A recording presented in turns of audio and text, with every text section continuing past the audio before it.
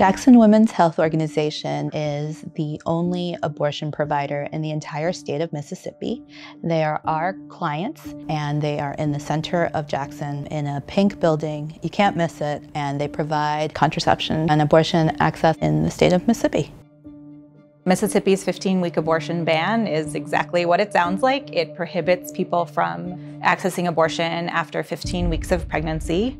Because Jackson Women's Health provides abortion after 15 weeks, the clinic and the center decided to challenge the law to ensure that people continued to have access to abortion after that point.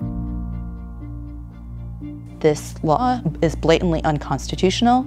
It goes against nearly 50 years of precedent and it prevents people from accessing health care that their patients need and that is constitutionally protected. At bottom, the state's argument boils down to the notion that the government should get to control people's decisions about whether to continue a pregnancy or whether to end a pregnancy.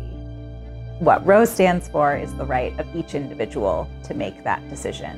And nothing has changed in the last 50 years for that right to deserve less constitutional protection than the court gave it 50 years ago. They totally erase the people who would be most affected um, and do not mention any of the pregnant people that would be affected in their state. It is also um, blatantly against the rule of law, and the glibness in which they make this argument is pretty devastating to me as a lawyer. Abortion bans affect all people, period, but they disproportionately impact Black people, it disproportionately impacts young people who might not know that they're pregnant, people who have trouble making ends meet, people who live in rural areas who might not be able to travel to the single abortion provider in a state. There are 24 states likely to prohibit abortion if the court decides to uphold this ban. There are states, including Mississippi, that have what's called trigger laws that would go into effect most likely if the court decides to uphold this ban. If the court rejects Mississippi's ban and stands by Roe, what we've done is preserve the status quo. Abortion is still out of reach for so many people, and access is not what it should be in many parts of the country. One benefit of the states being this emboldened has been that the conversation in this country has truly shifted.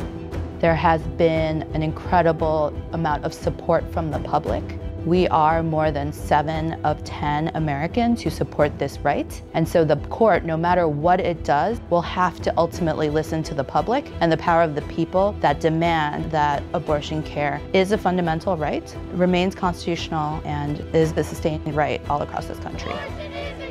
Regardless of the outcome in this case, our work will not be over. We will still be fighting to make sure there are state and federal protections that exist so that people are still able to make these fundamental decisions about their lives.